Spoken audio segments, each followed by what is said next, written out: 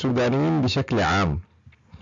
آه، فيما يختص بخيارات آه، المدرب أو المدير الفني للهلال آه، فلوران أبنجي خاصة فيما يختص بلاعبي الوسط. الناس لم تختلف كثيرا فيما يختص باللاعبين بتاعين الدفاع. حارس المرمى وثلاثي الهجوم اللي بيبدأ. لكن في ديبيت أو في نقاش كثير أو عن آه لاعبي الوسط والبعض بيرى إنه هنالك في الدكة من هم أفضل من الموجودين ديل. طيب أنا حأتكلم في حاجتين قبل ما ندخل لعمليا الرجل ده ليه اختار كده. اولا نود أن نؤكد بأن فلوران أبنجي مدرب جيد ممتاز عنده مشروع بيقدمه الآن مع الهلال وإنه هذا المشروع يحتاج إلى زمن ويحتاج إلى صبر اثنين المشروع من الناحية الفنية مسؤولية المدرب. وبالتالي هو يضع ويختار يختار اللاعبين سواء القائمة أو القائمة الكلية أو قائمة المباريات بحسب الاستراتيجيات التي يضعها. بمعنى في وجود مدرب لا تستطيع أن تقول إنه اللاعب ده أفضل من اللاعب ده. لنفترض دلوقتي إحنا آه حنختار لعيبة جدد للهلال. عايزين نسجل لاعبين جدد. إذا في موجود مدرب أنت لا تستطيع أن تقول والله أنا كإداري أو أنا كمشجع أو أنا كمحلل رياضي أو أنا كأي صفة أخرى ما دمت أنت ليست المدير الفني للمشروع أو للفريق. لا تستطيع أن تقول أنا حاجيب اللاعب الفلاني ده لأنه والله مثلا صانع ألعاب. أو أنا حاجيب اللاعب الفلاني ده لأنه آه مركز ستة جيد جدا محور ممتاز وهكذا دي مسؤولية المدرب طيب المدرب بيختار بناء على شنو؟ بناء على الاستراتيجيات اللي هو عايز يلعب بها. هذه الاستراتيجيات قد تختلف عننا. إحنا كمراقبين أو مشجعين أو آه نشطاء أي معنى آخر.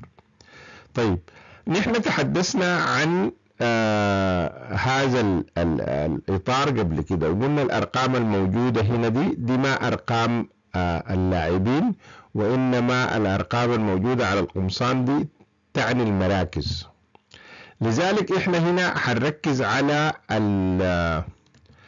لاعبين الوسط الثلاثة دول حنعتبر دي طبعا التشكيل ده أربعة اثنين ثلاثة واحد. لكن ما حنشتغل بالتشكيل.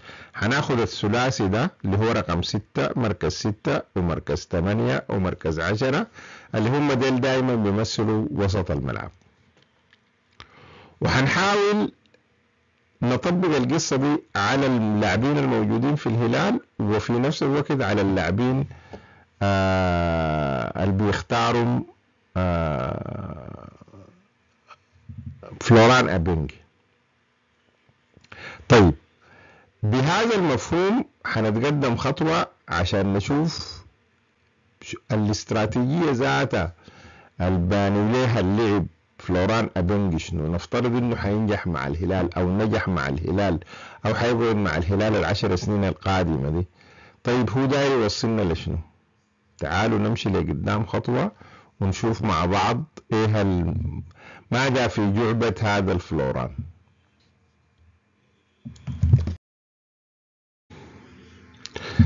طيب آه لو آه أظنكم لاحظتوا أن الصورة المصاحبة لهذه الحلقة فيها يورجن كلوب كل ال ال ال آه، المدربين الموجودين في أفريقيا هنا بيتبعوا مدارس موجودة في أوروبا. والمدرسة اللي بيتبع عليها فلوران أبنجي هي المدرسة بتاعت يورجن كلوب. يعني هو يعني بياخذ بعض الأشياء من آه بيب جوارديولا مثلا أو أنشولتي أو أي واحد من ديل. لكن الفكر الأساسي بتاعه مبني على فلسفة يورجن كلوب في لعبه اللي هو بيلعب بيستند على ثلاث أفكار رئيسية. دفاع قوي وحارس قوي. لاعبو نص يجيدون. لاعبو وسط يجيدون. آه الضغط العكسي وهنا أنا مصر على كلمة الضغط العكسي وبيعرف بالجنجن بريشر آه ده إذا جبنا أصل الكلمة الألماني لأنه أصله هو ابتدعوا الألمان آه وال وال والهولنديين كالعادة و آه أو بيسموه ال counter pressure برضو أو الضغط العكسي وليس الضغط العالي أو الضغط المنخفض. وده بيتطلب نوعية معينة من اللاعبين ثم هجوم بيعتمد على ثلاثة لاعبين آه، في الأساس يتميزوا بالسرعة والمهارات الفنية العالية. ماشي؟ لاحظنا إحنا في بداية من مباراة الترجي رغم إنها مباراة الأرض إنه في وسط الملعب بدأ فلوران أبنجي المباراة بالثلاثي صلاح بوجبا الصيني. والترتيب ده مهم جدا. الترتيب اللي أنا بقوله ده مهم. طيب الفكرة شنو؟ ليه مثلا ما بدأ بأبو عاقلة؟ اللي إحنا ندرك تماما إنه هو أحسن لاعب مركز ستة الآن موجود في السودان. وإن الفريق القومي الأساسي يعتمد عليه كأفضل لاعب رقم ستة. وإنه في مباريات السودان في آه الاثنين اللي لعبهم كان هو اللاعب الأفضل من بين كل اللاعبين اللي لعبوا حتى مقارنة بلاعبي المنافسين. فليه خدته احتياطي. الفكرة الأولى اللي جات للناس كلها إنه ربما يكون هو آه يعني أنا شخصيا فسرتها بإنه مجهد فحاول أن آه يعني مباراة في لا مباراة نظريا هي مباراة الأرض فخلاه ينزل. لكن لما جات مباراة النجم وما لعبه كان في سؤال ليه ما لعبه؟ يعني ما لعبوا نهائي حتى في الب... كبديل ما نزلوا يعني. طيب شنو الغرض من هذه القصة؟ كان لابد من التفكير في هذه المسألة ومحاولة حلها وفي آه، أخوان كتار جدا تحدثوا في هذا الموضوع من بينهم حتى آه، أحد آه، المتخصصين الأستاذ عبد محمد ومحلل رياضي متخصص وبفتكر برضو قدم كلام كويس عنه طيب تعالوا نشوف الفكرة شنو. طيب ديل بس ديل آه يعني هنا حنتكلم على إنه ديل أربع لاعبين اللي هو نحن عاملينهم بكور القدم ديل وديل ثلاثة يبقوا سبعة وديل جون يبقوا آه ثمانية فضلوا ثلاثة لاعبين بيلعبوا في وسط الملعب. أنا عايز أسيطر على وسط الملعب آه بتاعنا أن دي منطقة المناورة وعايز مش أسيطر على عليها بس كمان أمنع المنافس من آه، اللعب. لذلك أنا كفلوران عايز ألعب بالضغط العكسي. اللي هو بحدد فيه الهدف بتاع الفريق المنافس. عايز يلعب الكورة لمنو وأمنع لعب الكورة ما تصل الهدف بتاعه. دي الفكرة الأساسية بتاعت الضغط العكسي. طيب أنا جبت هنا عشان نسهل المسألة إنه اللون الأزرق ده ديل 25 لاعب. لو حسبتون أربع خطوط كل خط فيه خمسة آه لاعبين عفوا 20 لاعب أربع خطوط آه كل خط فيه خمسة فديل 20 لاعب. ال 20 لاعب ديل كل واحد فيهم يمثل خمسة في المية. منطقة مفروض يتم تغطيتها تمثل خمسة في المية من من مساحة آه آه آه نصف الملعب اللي هو ده هنا التلت الأول وده التلت الأخير أو الربع الأخير ده الربع الأخير وده الربع الأول وديل الربعين اللي في النص اللي هو المفروض يغطوهم لعيبة النص عشان يمنعوا المنافس من إنه يبني الكورة. علما بإنه أنا أصلا حاديه الكوره أنا ما حألعب على الاستحواذ كفلوران أنا حألعب على آه، آه، قطع الكورة في أقرب مكان يسمح لي بهجمه سريعة جدا. لذلك كان الهلال جد في الثلاث مباريات آه، تقريبا بيستحوذ الكورة بنصف استحواذ المنافس. يعني كلهم تقريبا في المتوسط بيعملوا حوالي 65% بينما الثلاثة فرق اللي لعبوا مع الهلال بينما الهلال بيعمل نحو 69 39% أو 35% حاجة بالشكل ده يعني. اذا أنا كفلوران حالعب على عدم الاستحواذ وليس الاستحواذ حالعب على اللا استحواذ حاضغط أخلي لما يجي الوقت بتاع إن الفريق المنافس عايز يلعب الكورة للهدف بتاعه. الهدف بتاعه ده هو أحد اللاعبين اللي عايزين يلعبوا للكورة اللي حيجيب آه، هدف في مرمى الهلال. حامنع القصة دي عن طريق الضغط العكسي. طيب يبقى ديل ما لاعبين ديل مناطق اللاعبين الأزرق ديل ديل مناطق يجب الضغط على آه، المنافس فيها بحيث إن أنا أمنع العبه حاضغط على المنافس ده باللاعبين الثلاثة الموجودين بتاعين بتاعين النص.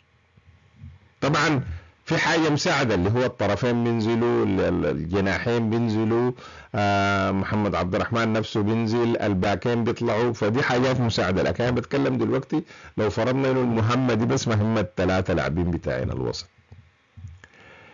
اذا أنا عايز الثلاثه لاعبين بتاعين الوسط في كل لحظة يعملوا لي الحاجة اللي أنا عايزها دي. لأن أنا حشيل الكورة أديها للمنافس. وبالتالي عايز واحد يقطع الكورة دي في أحسن حتة. نجي نشوف اللاعبين اللي بيختاروا بيعملوا شنو. حنغير المكان بلون أبيض. الابيض اللون الأبيض معناه إنه هذا المكان شاغر بواسطة أحد لاعبي الهلال.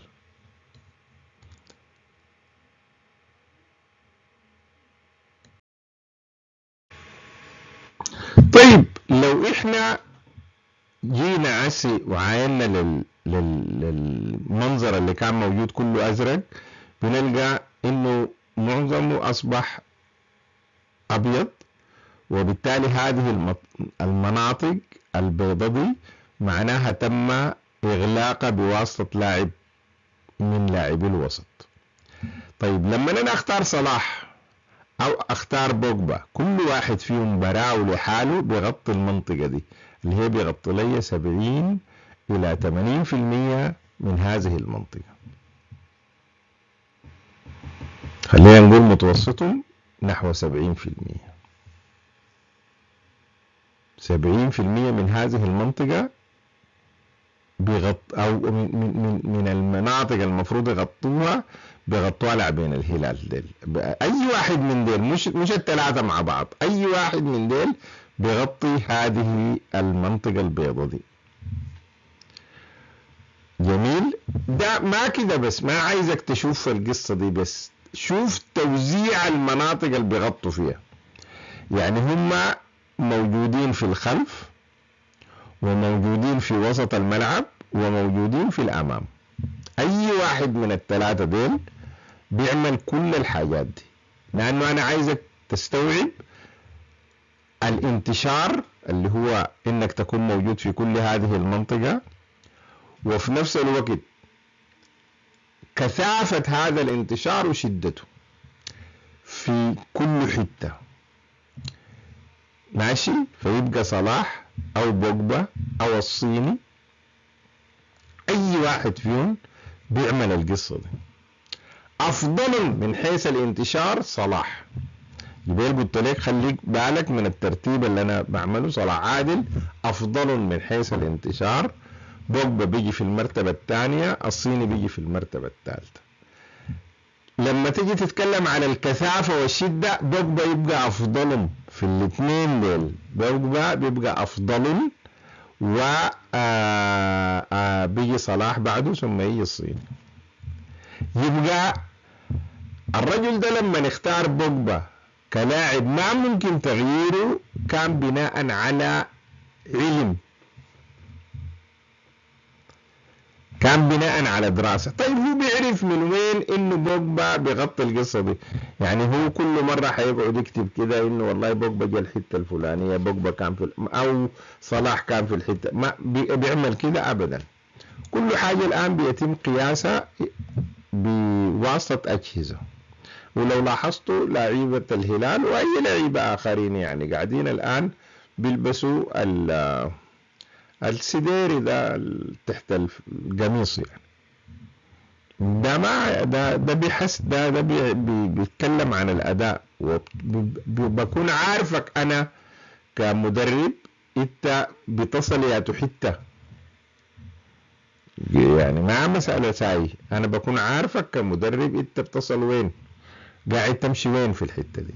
طيب بيعرفها كيف؟ بيعرفها بما يعرف ب الخرائط الحرارية. تعالوا نشوف خرائط اللعيبة دي كيف بتكون وكيف بتوضح الشكل اللي إحنا عملناه ده. طيب ده صلاح اللي إحنا شفناه. ده دي الخريطة الحرارية بتاعت صلاح.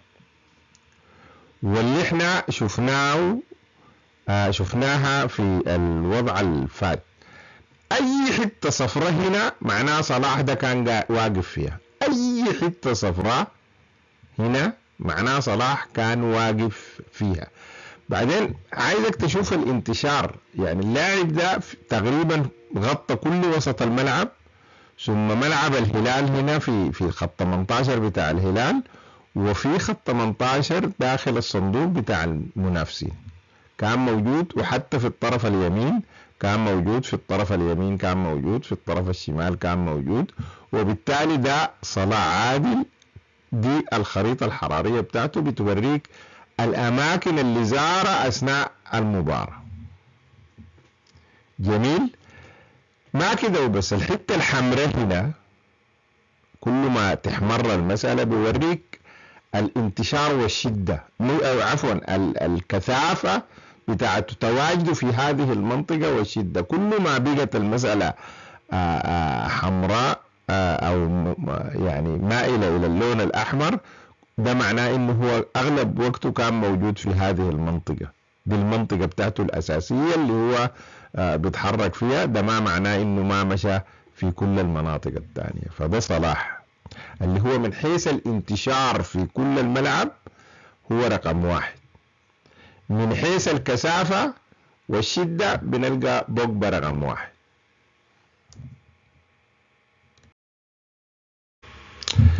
طيب ده بوجبا بقى في مباريتين بتاعت النجم وبتاعت الترجي ودايرك تشوف يعني بوجبا المفترى عليه اللي إحنا دايرين نشطبه ده اللي ما, ما عايزينه لأنه غلط عمل له هدف جاء جا هدف. بدون ما نشوف إن إحنا القصة الحاصل فيها شنو.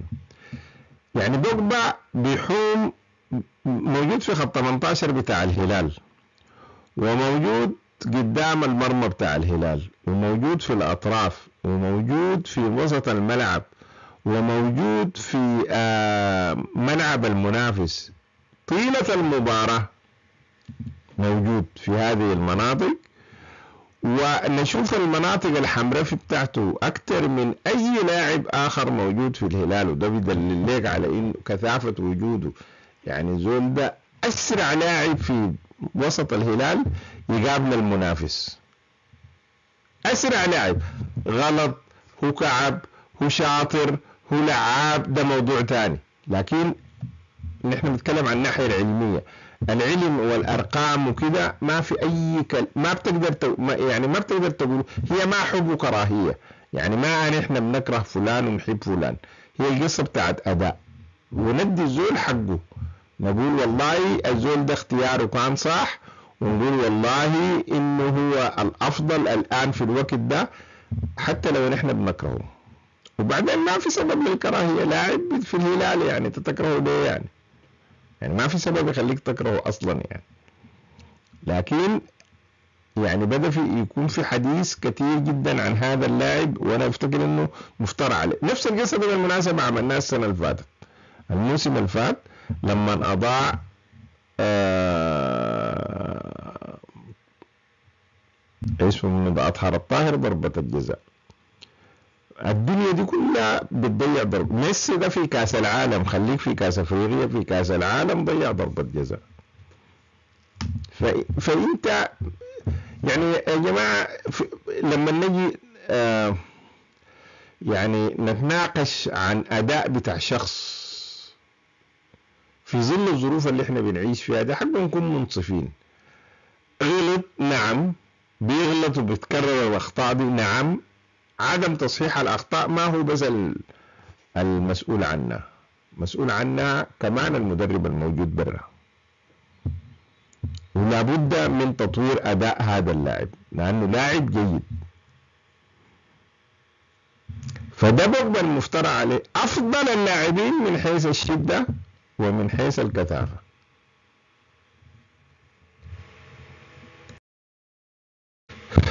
ده عماد الصيني. هنشوف أيضا الطريقة اللي هو آه، دي في مباراة الترجي هو بيكون موجود وين؟ بيكون موجود في الخلف. نادرا ما يمشي لقدام دي المناطق اللي بيكون موجود فيها انتشاره أقل من آه، صلاح وأقل من آه، بوجبا من ناحية الشدة والكثافة. هو أقل منهم الاثنين بسبب واحد لأنه بيكون موجود في منطقة واحدة. لكن في المن... هم الباقيين بيكونوا انتشارهم أفضل منه ودي المشكلة. فهو أقلهم انتشارا وأقلهم كثافة بالنسبة لل... لكل المناطق. في المنطقة بتاعته هو موجود بكثرة. وماخد 70% يعني آه، يعني ده اللي قدرنا نظهره يعني. واحد وسبعين في المية في تغطية المناطق دي. ودي مسألة ما ما ما تفتكروها سهلة يعني. آه مهمة جدا. تعالوا نشوف نمشي لقدام ونشوف ماذا يحدث. طيب تعالوا نشوف أبو عاقلة. بدءا ما في أي شك. انه ابو عاقلة هو افضل لاعب مركز ستة موجود في السودان. بغض النظر عن كل اللي إحنا بنتكلم عنه ده لأنه ده مبني على حسابات مبنية على الاستراتيجية. لكن لما نجي نشوف كل واحد فردا فردا فردا بنلقى إنه ابو عاقلة افضل لاعب في السودان بيلعب الآن في مركز ستة. لكن هل أنا عايز أبو عاقله يلعب بنفس الطريقة اللي بيلعب بها مع الفريق القومي السوداني؟ لا. ليه؟ لأنه أبو عاقله بيغطي المنطقة الخلفية. بيغطي هنا. وجوده في بقية الانتشار بتاعه في البقية صعب. لذلك تنفيذه للاستراتيجية أقل منه. إذا عايز أبو عاقلة يلعب تلعب بالطريقة بتاعت كواسيابيا اللعب بالضغط المنخفض. لما الضغط المنخفض تلعب به أبو عاقله رقم واحد. لأنه هو بيكون موجود هنا. بعده يجي الصيني بعدين صلاح. بوجبا في الحالة دي بيطلع. وعشان كده آه بيه ما لعبه. لأنه بيلعب بالضغط المنخفض. بيلعب في التلت الأخير. هنا أنت عايز أبو عاقلة طيب نفس القصة بتاعت أبو عاقلة دي لما جاء احتاج له آه فلوران الهلال غالب 2-1 في مباراة الترجي الترجي جاب جون وبدأ يضغط على الهلال عشان يعادل فعايز واحد تحت ما عايز واحد فوق. فطلع صلاح صاحب أفضل انتشار ودخل أبو عاقلة وانظبط ال team بالعكس أبو عاقلة كان سببا في إنه تجيب الجون الثالث مش كده وبس أنا بقول ده رأيي أنا ما رأي فلوران إنه التبديل الصحيح في مباراة النجم الساحلي تطلع آه ياسر مزمل تلاعب أبو عاقلة وتغير الترتيب بتاعك أربعة أربعة اثنين بدلا من أربعة واحد أربعة واحد. كان ده رأيي أنا. لكن ده ما رأي الرجل كان طمعان في المباراة وكان حاسس إنه ممكن يفوز. لذلك اشتغل على الهجوم. حتى يمكن ذاته ما عارف ليه نزل أحمد يحيى. يعني أنا شخصيا ما ما عندي تفسير ليه نزله. حنشوف المباريات الجاية لكن أحمد يحيى تنزله في الدقيقة 92 و93 وأنت مغلوب 1-0 عشان يعمل شنو؟ لو الهلال غالب 1-0 أفهم. أنت دار تضيع الوقت وأنت آه، عايز في النهاية مدافع أو كده لكن الهلال مغلوب انت دايره يجيب لك جون هو يعني مثلا. ما عارف ما قادر افسرها لكن ده أبو عاقله ليه؟ عشان كده هو بيقدم الثلاثة ديل على أبو عاقلة. طيب أبو عاقلة ده عرفنا من وين؟ نشوف. طيب دي الخريطة الحرارية بتاعت أبو عاقلة في مباراة بيترو أتلتيكو. وبتوريك وأبو عاقلة حصل على ستة وثمانية من عشرة اللي هي ثمانية وستين في المية أقل من الاثنين الثلاثة اللي فاتوا. وده آه، ده التوزيع بتاعه ده الطريقة الموجود معظم وقته هنا. الكثافة بتاعته موجودة هنا في المنطقة القدام آه، مركز آه، أو أو أو زون 14 وده اللي أنا بقوله إنه لو أبو عاقلة موجود آه، جا كمبي ده ما كان شأت الكورة أصلا ما اتصلوا أصلا. ما اتصلوا لأنه هو حافظ المنطقة دي كويس أبو عاقلة. حافظ حفظ يعني. فلذلك شوفوا شوف ذاته كثافة الانتشار بتاعه ضعيف جدا لأنه اللون الأصفر باهت. السبب في ذلك إنه هو بيلعب لورا. مش بيلعب ورا يعني بيرجع الكورة باص ورا لا. بيلعب أساسا كمركز ستة كلاسيك في الحتة دي. لما نلعب وأحسن لاعب يلعب في المنطقة دي. لكن أنت لازم عشان تستفيد منه تلعب ضغط منخفض. ودي ما السياسة بتاعت آه فلوران ابنجي فلوران ابنجي عايز يلعب ضغط عكسي وده مختلف تماما دي استراتيجية مختلفة تماما عن الاستراتيجية بتاعت آه، أبنجي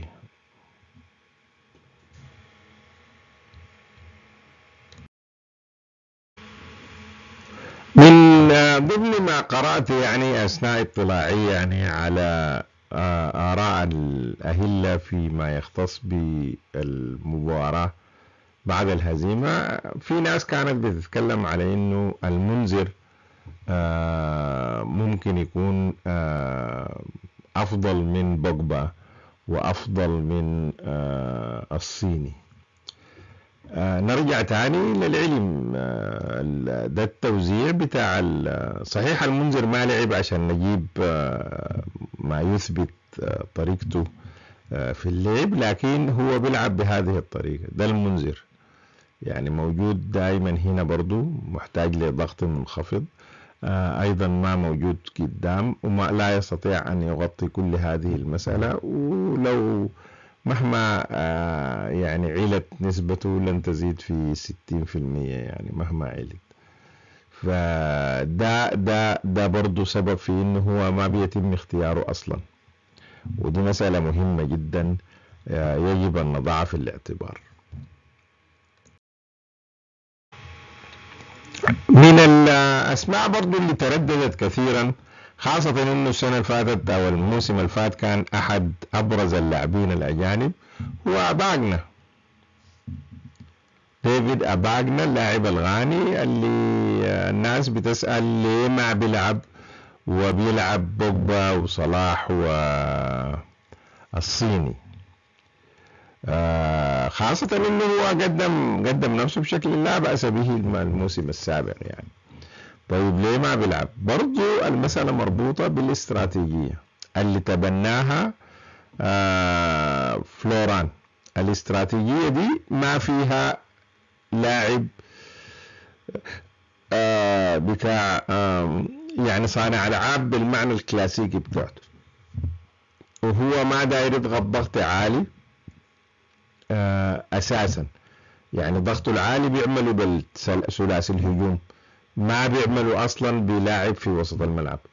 وبالتالي آه وجود آباقنا في القدام بس وما بيرجع كتير للخلف بيخلي في إشكالية في تغطية الأماكن اللي هو دايرها وبالتالي بيخلق له مشكلة كبيرة.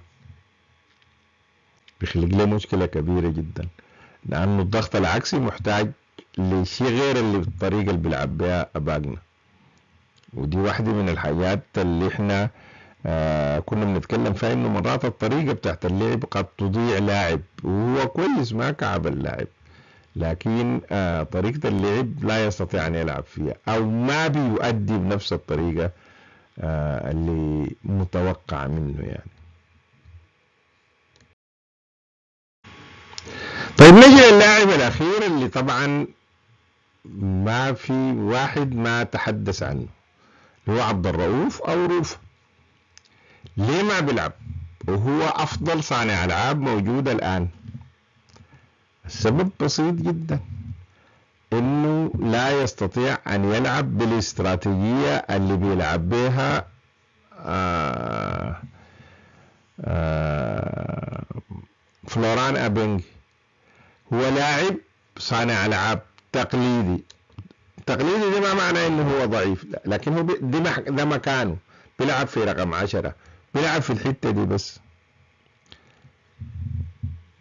فده ما يعني ده ما بيعمل له الضغط العكسي اللي هو عايزه.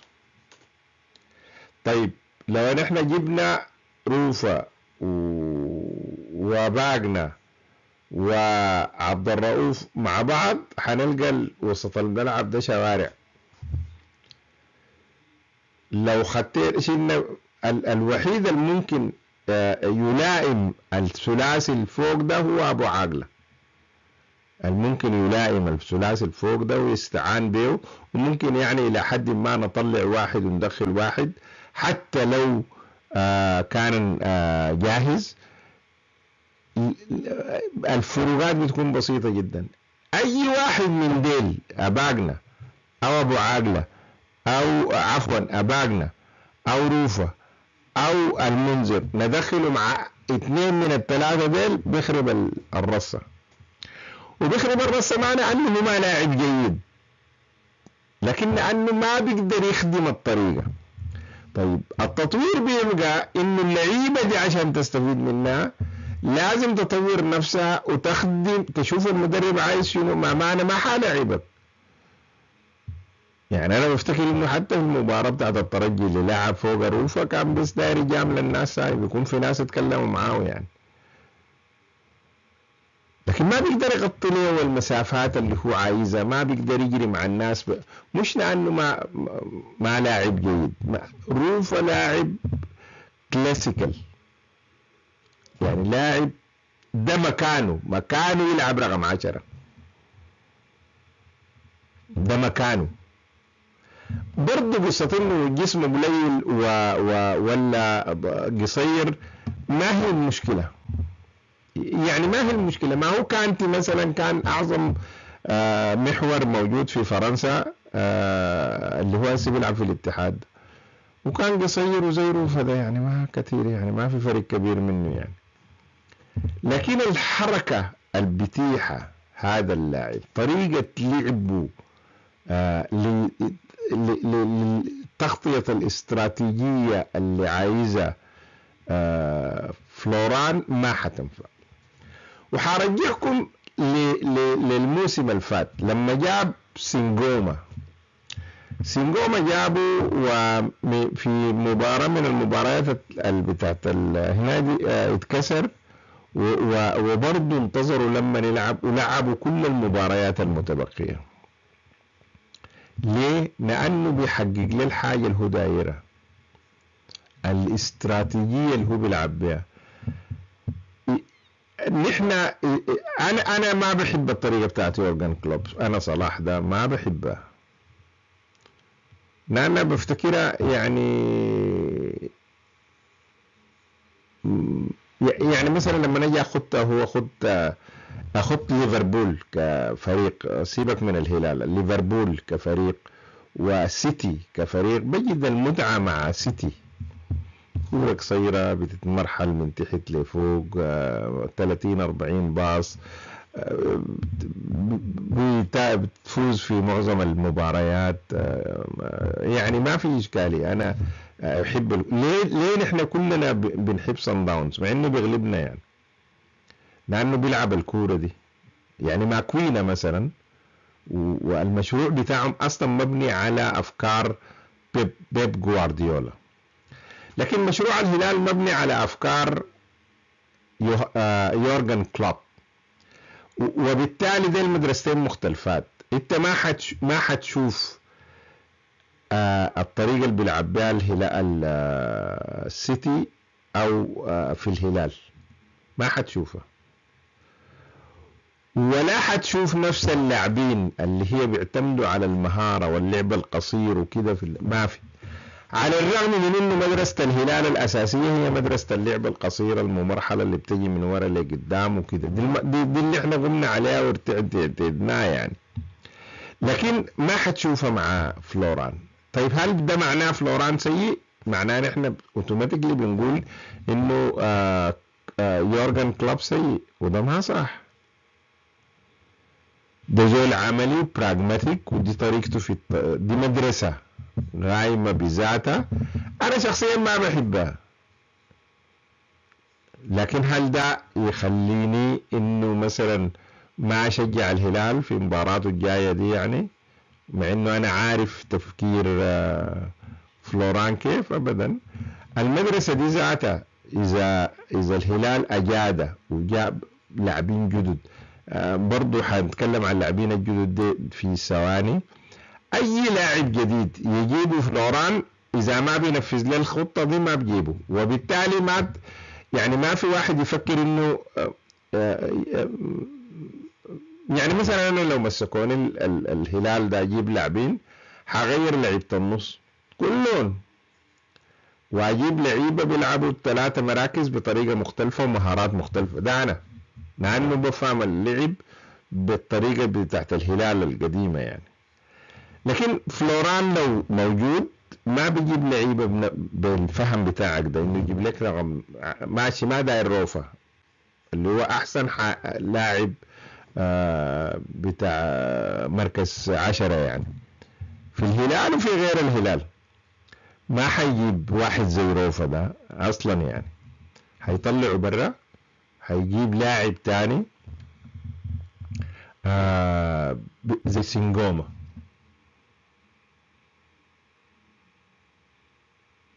يعني مثلا آه، هو ليه رافض عزيز كي بتاع ال بتاع ال بتاع الشباب. نفس الفكرة. ما بيغطي له داير لاعبين يلعبوا يسلموا الكورة. وهو ما داير كده. هو دايرك انت تتحرك انت ذاتك تتحرك. وتغطي المساحات دي كده. ما ما بينفع معه عزيز كي حتى لو جه. رافضه.